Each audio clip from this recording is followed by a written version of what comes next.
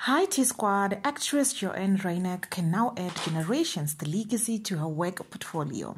She was last seen on Muvhango but has now joined the SABC One soapie.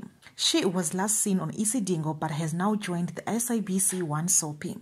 The actress posted a beautiful picture on Instagram and captioned it with those words. As I begin a new journey, I felt blessed. The caption was not specific, but many felt was hinting on a new role as Refilwe Zungu. Refilwe Zungu is a smart, charming, ambitious woman, a daughter of a late struggle stalwart Daniel Zungu, who died 10 years ago, leaving a small fortune.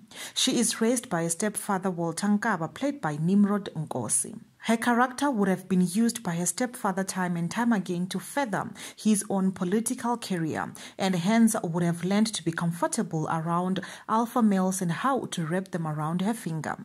When her stepfather introduces her to a powerful associate of his, she knows exactly what to do with him in order to get him where she wants him to be.